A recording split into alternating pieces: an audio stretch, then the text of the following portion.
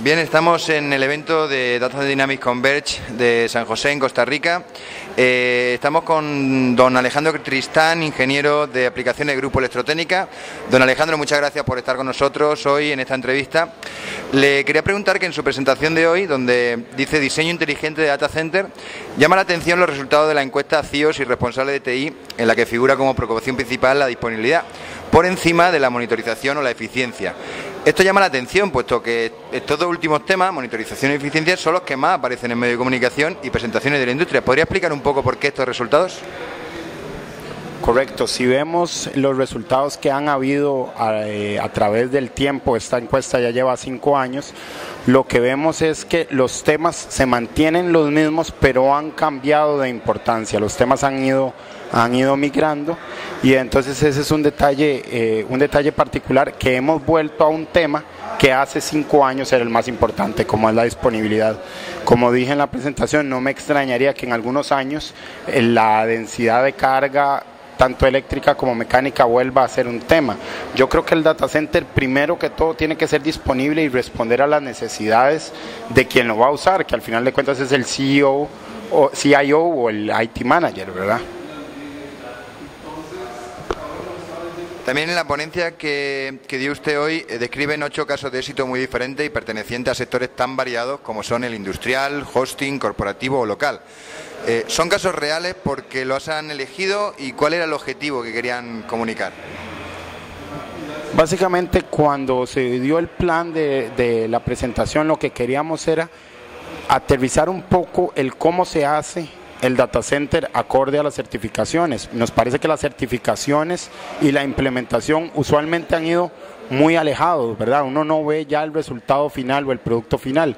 Entonces esa fue la razón por la cual las escogimos. El hecho de que sean temáticas tan variadas o de data centers de áreas tan variadas, lo que quiere demostrar es algo que siempre hemos repetido hacia nuestros clientes y que se repite mucho, pero esta presentación lo que busca es comprobarlo, que dependiendo de la finalidad del data center, así es como se tiene que diseñar. Son data centers que son de naturaleza diferente, entonces en su conceptualización tienen que ser radicalmente diferentes. Y, de estos proyectos, eh, de algunos de estos que, eh, hemos, eh, que han puesto de ejemplo, ¿qué destacaría de alguno de ellos? Para mí muy interesantes son, bueno, el data center, el último caso, el data center local, me parece muy importante porque si bien ya existen seis data centers certificados en Costa Rica, tier 3, de hecho todos, coincidentemente, eh, existe o todavía existe la mentalidad en Costa Rica que no se podría lograr una certificación Tier 3 porque existe un solo eh, proveedor de electricidad, porque no se pueden traer acometidas de diferentes subestaciones, etcétera. Entonces existen esta serie de mitos que lo que busca este caso en específico es romperlos.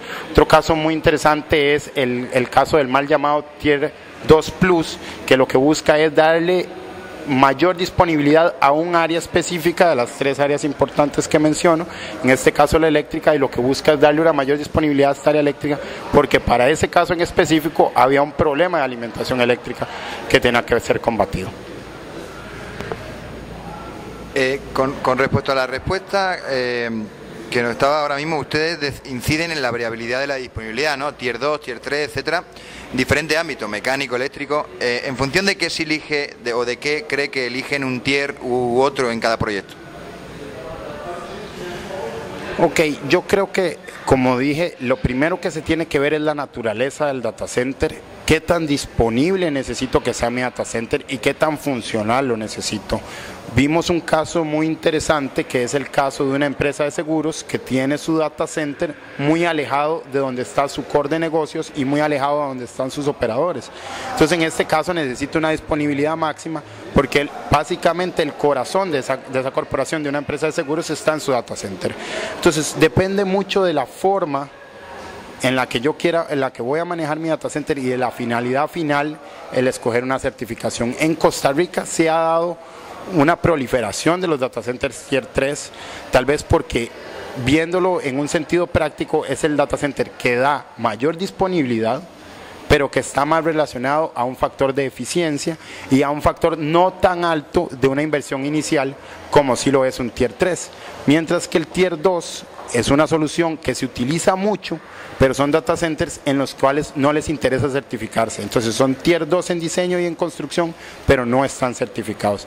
Entonces yo creo que básicamente lo que me va a decir la necesidad de una, de una topología u otra va a ser el uso final y qué las condiciones de manejo que, va a querer el cliente, qué tan eh, directamente involucrado va a estar el cliente con su data center. Bueno, el grupo Electrotécnica es distribuidor de Emerson para la región y, bueno, ¿qué soluciones de esta compañía recomienda según tipo de proyecto, los proyectos que estábamos hablando antes? Como les comenté antes, la idea es que cada solución de data center sea particular para el data center específico. Vimos en los casos, por ejemplo, que se necesitaba en el caso del data center corporativo se necesitaba un data center que fuera implementado en menos de dos meses, sin mucha invasión civil, entonces existe una solución para estos casos. Vimos otros data centers que ya tenían piso elevado, entonces se quería aprovechar esa infraestructura, entonces se dieron soluciones para el mismo. Creo que soluciones muy importantes y que aplican para todos los data centers es la solución de la distribución de potencia mediante ducto barra, es una solución fundamental, me parece que el data center, como lo decían otros expositores y estoy seguro que otros otros entrevistados, el data center es un cuerpo vivo, entonces yo necesito ser lo más flexible posible, entonces mi infraestructura lo que tiene que buscar es la mayor flexibilidad y creo que el ducto barra es la única solución que yo le podría recomendar a todos los data centers. Bueno, ¿qué tipo de soluciones son más demandadas por los eh, clientes acá en Costa Rica? Bueno, las UPS eh, escalables o modulares son muy demandadas porque el, el manager de los data centers en Costa Rica sí tiene una conciencia muy alta que su data center está en crecimiento, el aire acondicionado de precisión ha tomado fuerza, se ha dado una campaña alta de, de concientización de la necesidad de utilizar este tipo de equipos. Y por una cuestión de espacio y de la forma en la que se realizan los data centers, que usualmente es un, es un espacio físico ubicado en, en el complejo de la corporación o de la institución a la que se le está implementando estos equipos, los aires acondicionados entre pasillos o entre filas que ocupan muy poca área, son las que más se han utilizado, y las UPS tipo gabinete, que se colocan directamente en el gabinete, esos también son muy demandadas por los clientes. Bueno, ¿cómo describiría el mercado costarricense de data center? Yo lo, lo describiría como un mercado todavía incipiente, pero deseoso de informarse, deseoso de eventos como este, deseoso de que la gente lo, eh, lo informe y les, les dé experiencia con respecto a lo que ellos quieren hacer.